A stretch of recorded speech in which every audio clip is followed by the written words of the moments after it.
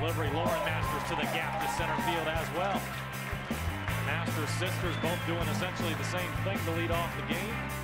Comes to deal 3-2. Williams sends it deep. That's going to deep left field. Back, back, back, back, and gone. Three-run home run, Victoria Williams. Wake up, Gamecock fans. Quite a way to start this nightcap. It's 3 nothing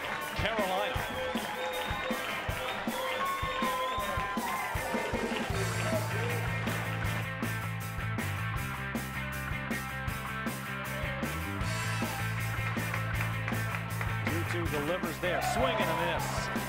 Sarratt with her fourth strikeout of the evening.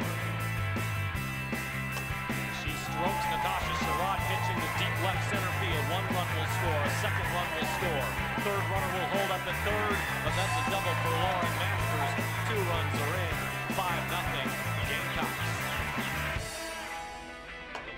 there, does Sherrod. Snare delivers as well. Into left field in the 5-6 gap. Make it 7 nothing South Carolina.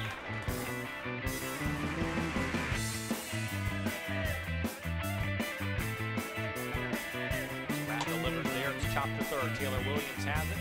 Calmly gets it to Snare at first. And the Gamecocks get out of the inning. Three hits. Six RBIs. She's got another base hit there. Going into right field. The winning run is on first.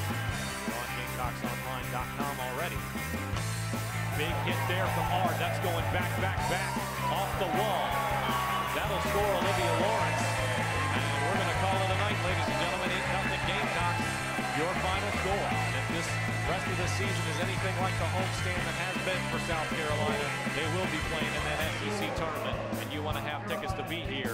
on the home Gamecocks as they look to push for a conference title.